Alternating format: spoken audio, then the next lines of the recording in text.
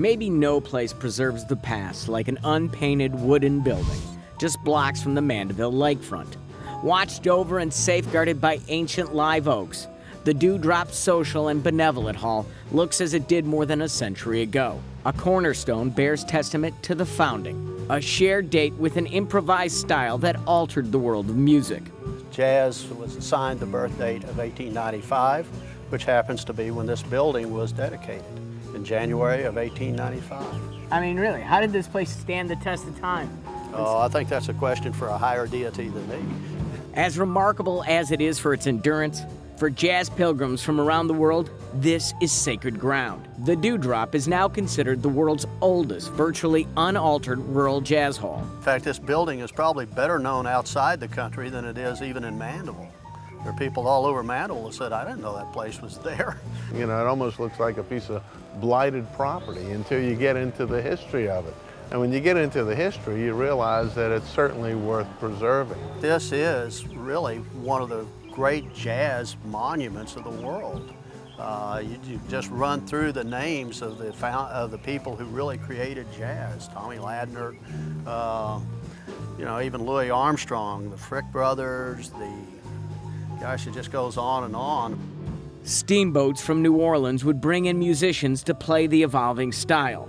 This was just a typical what you'd call a rural jazz hall, but it actually was a community center uh, part of the real fabric of the African American community in Mandeville. Simple in construction, it was significant in the social life for African Americans in the area. In order for them to get a proper burial, the community formed these uh, benevolent societies.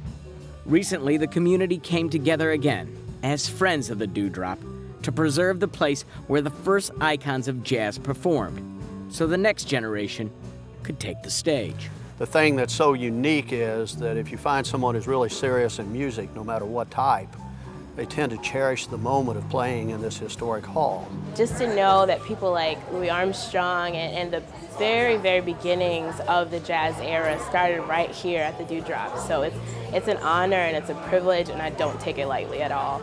Remaining unchanged, the building still doesn't have electricity. But for Chrissy Miller, a young jazz artist, it does have an energy of its own. It just brings to life this place that has such a rich history to know that hundreds of years ago, people were doing the same thing. They were getting up and dancing around and doing their jigs. When you play, you feel like here's the spirits of your ancestors looking over your shoulder and playing backup. And it, it really, when you start getting in there and hearing music, it's in its purest, oldest form in a sense that everybody is just got that certain spirit that you just don't find or you can't make tangible. It's, it's there, but it's not there. Here we go. What a day this has been. What a rare mood I'm in. Why, it's almost like being. A thought to ponder. Almost 150 years ago, jazz pioneers would come here to play. At that time, others would come from the city of New Orleans and vacation in St. Tammany.